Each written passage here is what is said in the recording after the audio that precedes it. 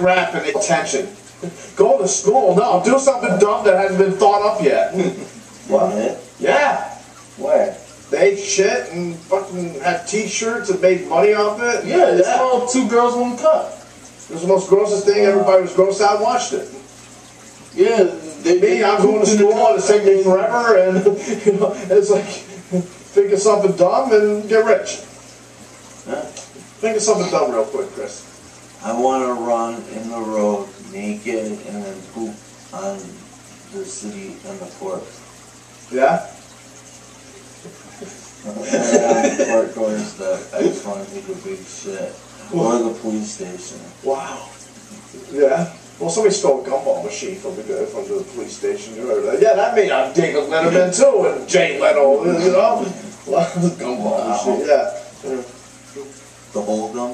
Yeah, the whole gumball machine. You don't remember that? That was like on the news on Jay Leno. I'm just like, wow, I got been on. Well, I don't know. This show made it too. You know, got somewhere too. But, I don't know. Just, uh, so what else you gotta say? I got some dumb shit. Steal a cop car and paint it pink. Chris is like, oh, can I think of something? Yeah.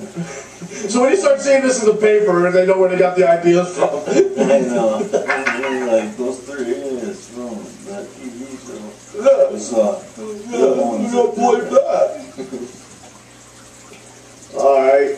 Well, so what game do you want next, Chris? uh, Mortal Kombat, um, The new one, huh? Shadow.